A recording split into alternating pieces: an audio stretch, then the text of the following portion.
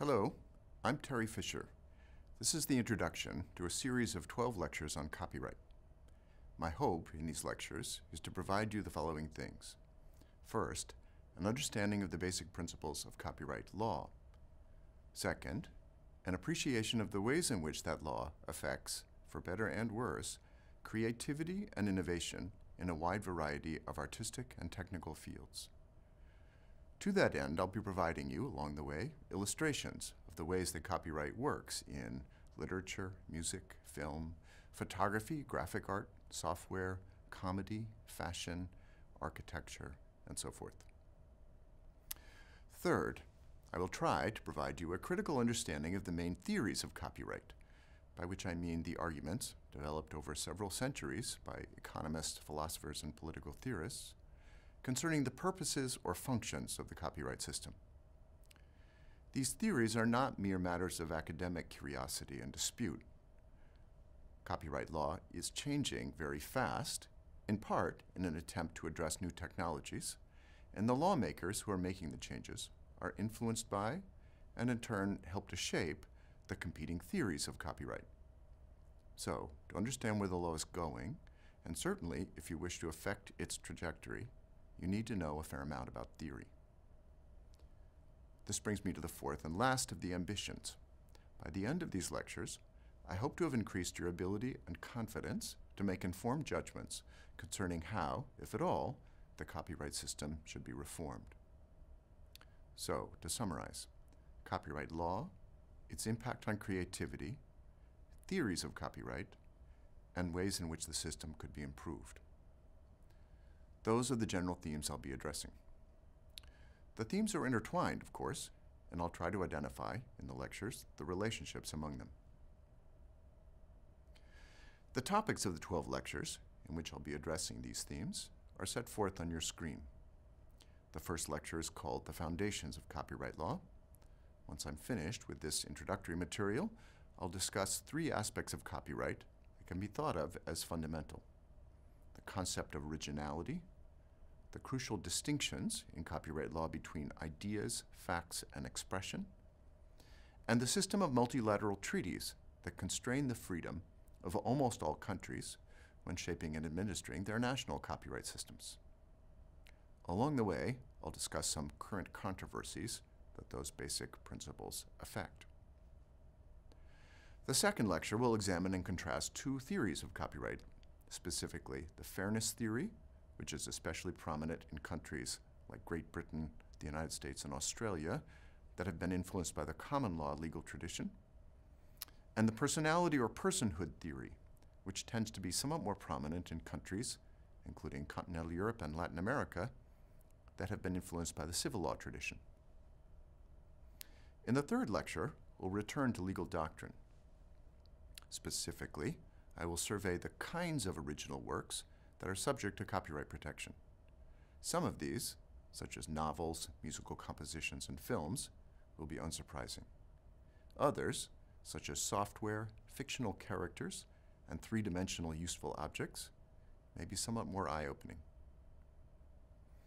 The fourth lecture will concentrate on the most complex of the copyright theories, the welfare theory, an outgrowth of the philosophic tradition of utilitarianism. As we'll see, this theory has growing influence, certainly among scholars and increasingly among lawmakers in all jurisdictions in the world. The fifth lecture will consider the complex set of rules that define the term author and identify the persons and organizations that qualify as authors. The sixth lecture, entitled The Mechanics of Copyright, considers how the copyright system works in practice. I'll discuss, for example, what, if anything, an author must do to secure copyright protection, the preconditions for bringing a copyright infringement suit, how long copyrights last, how the rights associated with copyright are transferred from one person to another, and how the copyright system attempts to shield authors or their families against exploitation. The seventh and eighth lectures will examine in some detail the legal rights that a copyright owner enjoys. The primary entitlements, we'll see, are the exclusive rights to reproduce, modify, distribute, or perform their works.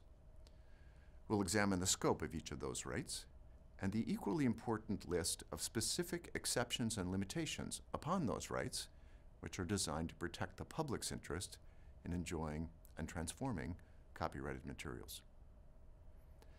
The ninth lecture will examine the general defense to copyright infringement, known variously as fair use and fair dealing. This is among the most controversial and unstable aspects of the copyright system. How this doctrine evolves in the near future will have a big impact on journalism, music, film, graphic art, and so forth. In the 10th lecture, we'll return for the last time to copyright theory, examining an approach that seems to be gradually growing in influence in many countries. It goes by various names, but I will use the term cultural theory. In the 11th lecture, we'll examine two important supplements to the set of legal rights enjoyed by copyright owners. The first of these is the doctrine of secondary liability, which enables copyright owners sometimes to control the behavior of organizations that do not themselves engage in copyright infringement, but rather facilitate the infringing behavior of others. Included in this group are some quaint organizations, like flea markets, and some modern ones, like peer-to-peer file sharing systems.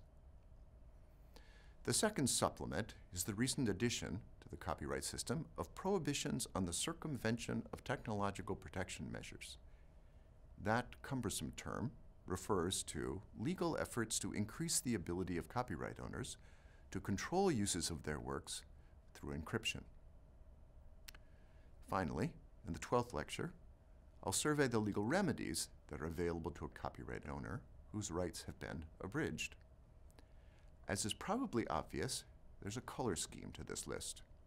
The lectures described using a black font focus on copyright law and its applications.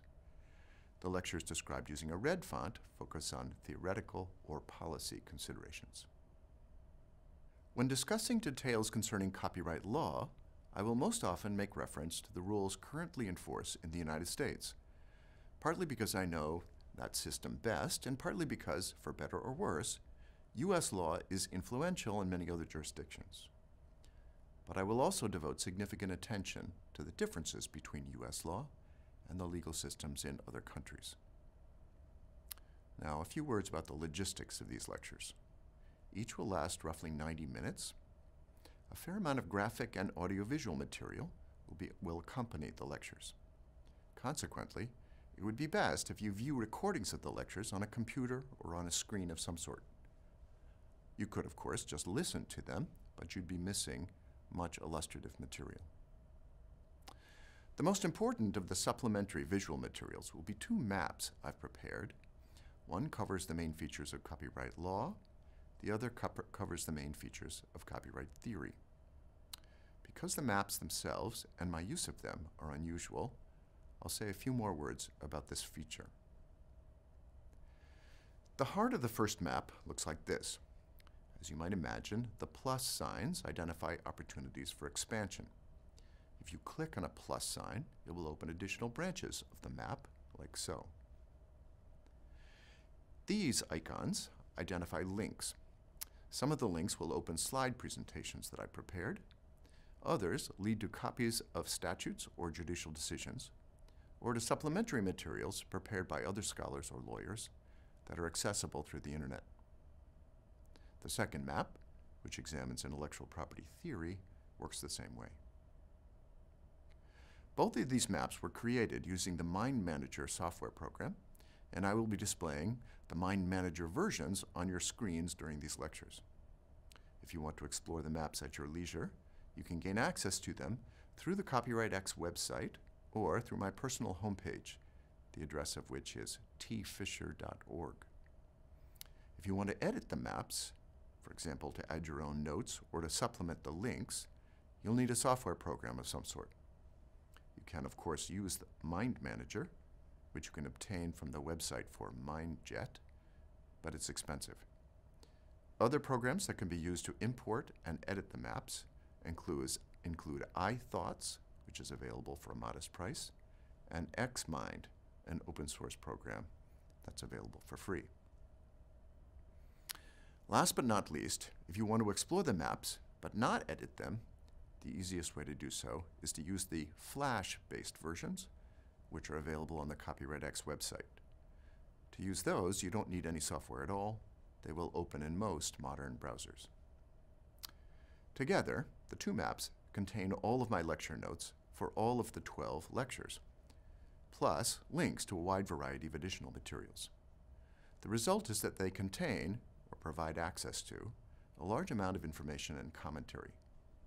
However, it's important that you understand their limitations.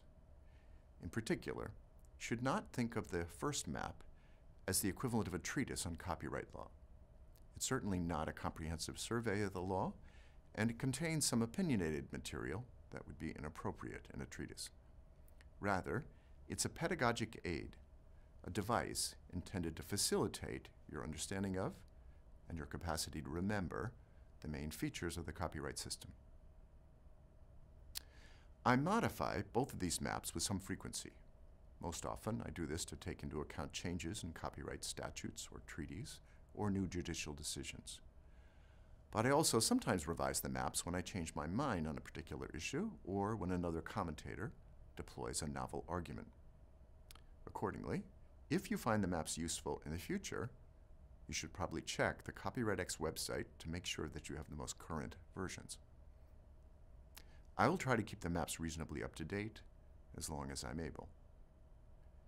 Finally, if you have suggestions concerning the content of either map, bearing in mind, of course, their limited purposes, feel free to email me using the address listed on the Copyright X website. The same principle applies to these lectures. If you have suggestions concerning how they might be improved, please, please let me know by sending a message to the same email address. This concludes the introduction to lecture number one. In the next segment, I'll take up the first of the substantive topics in the course, the concept of originality.